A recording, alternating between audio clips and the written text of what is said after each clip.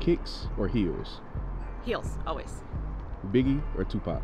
Tupac. That you will learn about me very quickly. IHOP or Waffle House?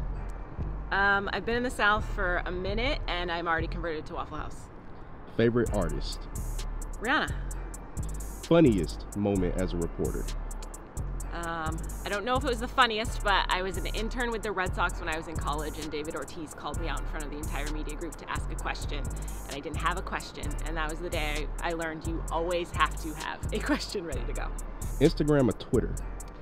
Twitter, I like the drama. Do you pour milk first or cereal first? I'm not a crazy person, so I put my cereal in first and then the milk on top. Uh, a journalist that you look up to? Um, a journalist that I look up to is Doris Burke. I think she's so professional, she's great at what she does, and I hope to be like her someday.